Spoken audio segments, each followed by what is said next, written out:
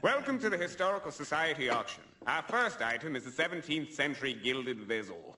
We'll start the bidding at $140,000.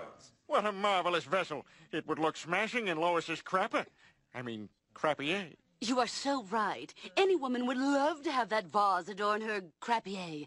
Jonathan. Oh, uh, 140,000. 150.